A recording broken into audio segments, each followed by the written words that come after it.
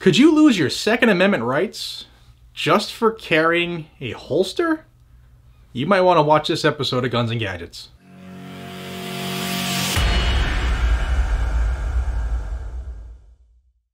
Hey everybody, welcome back to Guns and Gadgets, your premier source for Second Amendment news. If you haven't already, jump on that subscribe button right now, hit it hard, and join this growing freedom family where you will hear all of the Second Amendment news no matter how good, bad, ugly, or indifferent it is. No matter where it happens, I try to make you aware of it here on the channel.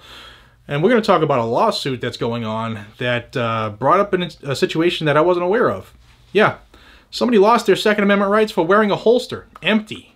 Empty. And this happened in Washington, D.C., the same area where federal courts ruled that their good cause requirement in order to get a concealed carry permit was unconstitutional. But apparently, the chief of police gets to change the rules on a whim. Allen Whitaker, who has had his concealed permit since 2018, if I remember correctly, well, he went to a range with his girlfriend and one other on April 29th. When they left the range, he locked his firearm in a lock box and put it underneath the seat of his vehicle and went about his day. But he left his empty holster on his hip. You know, I don't know if it was leather or plastic, but it's not a weapon, shouldn't matter. On his way back home, they stopped at a convenience store to get a drink. Imagine that. And as they pulled into this convenience store, there were two other guys having an argument. Whitaker parked away from this confrontation that was going on, went into the store, purchased some water, and when he came out to his vehicle, he was held at gunpoint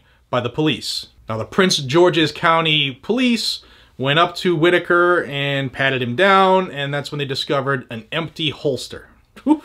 Careful now. They then put him in cuffs, searched his car, and couldn't find the firearm that, in their mind, should be in that holster. Now, I will flip the, the, the switch here and thinking as a police officer who's coming to a call of, of people arguing, I don't know the full details of the call, the incident that they were called to respond to, but they see somebody coming out, they're going to check to see if he's involved. They find a holster. Yeah, obviously it's going to uh, spike their uh, their interest, if you will, and they're going to want to find that gun to make sure that it's not going to be used or hasn't been used in this in this altercation. Whitaker told the police where that gun was, locked in a box in the car. They still had problems finding it. So he showed them where it was, and then they confiscated that firearm.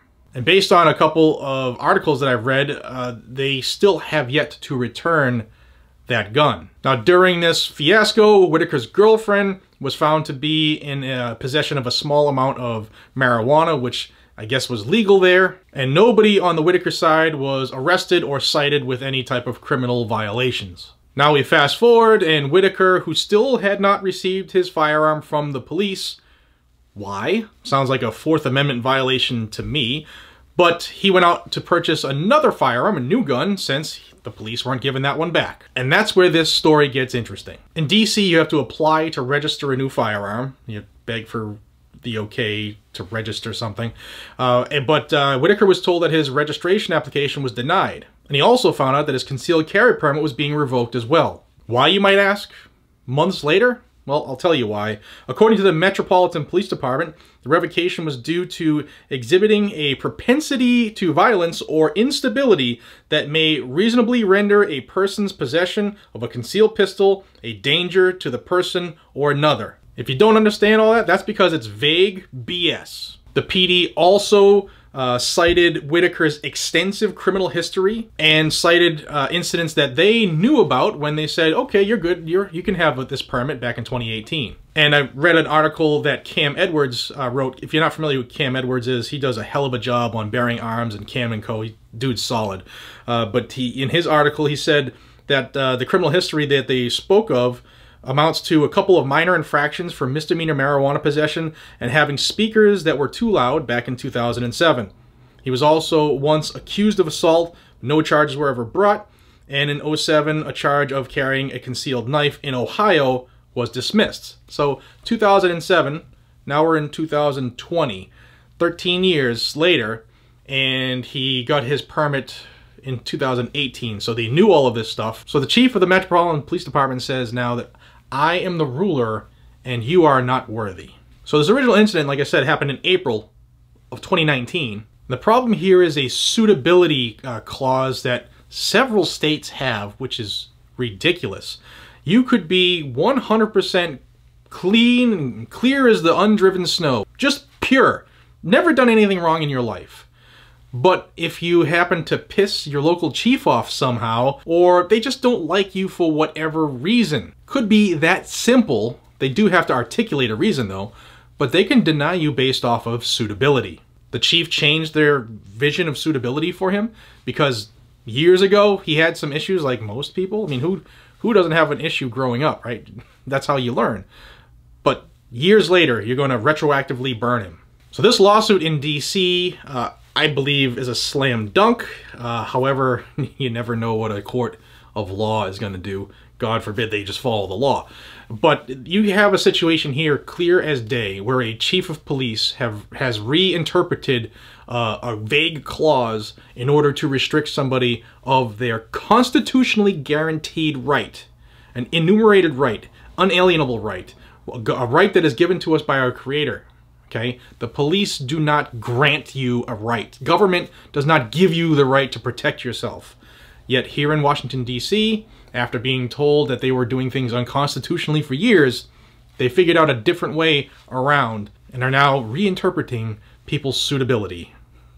Amazing. And this isn't the only place this is happening. So I'll keep my eyes on this lawsuit in Washington, D.C., and I want you guys and gals to be aware because this does happen in other places. Massachusetts here is one. Um, so this stuff has to end because in my book, I don't know about you, but my book, shall not be infringed means you can't infringe on it. Yet, we're living in a country of infringements. Alright guys and gals, if you found anything in this video that either made you happy, sad, or angry, please hit that thumbs up button to help destroy this YouTube algorithm and share this with your friends. This is the only way this news spreads because the uh, big tech people don't want this information out. So I humbly ask you to help in that endeavor by sharing this with everybody. Also, if you carry a gun, concealed or open, doesn't matter. If you carry a gun, if you own a gun, if you go shooting, please join the USCCA where you can make sure that if you ever have to uh, defend yourself or others while armed, that you already have your attorneys and your game plan in order so that you don't have to worry about what's going to happen after. You can join them down below, uscca.com slash GNG, and help eliminate that stress now. All right, guys, thank you for your time. I appreciate you all way more than you know. Until we see each other again, be safe, stay vigilant, carry a weapon, and I will see you on the next one. Take care, everybody.